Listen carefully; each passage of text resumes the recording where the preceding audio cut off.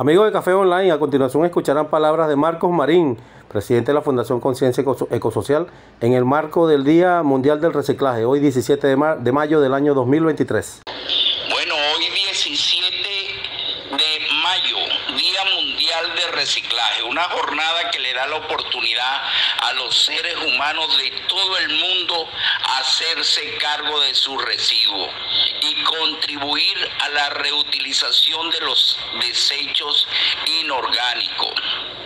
El reciclaje debería ser un proceso habitual, algo ya incorporado a nuestra vida. Reciclar es un modo de no romper un ciclo para que pueda continuar su cadena natural y de contribuir con el medio ambiente. Lamentablemente en todos los países del mundo falta mucho trecho aún por recorrer hasta que los seres humanos tomemos plena conciencia de que no debemos los ciclos naturales, elementalmente para que todos los seres vivos puedan llevar una vida más saludable en el planeta.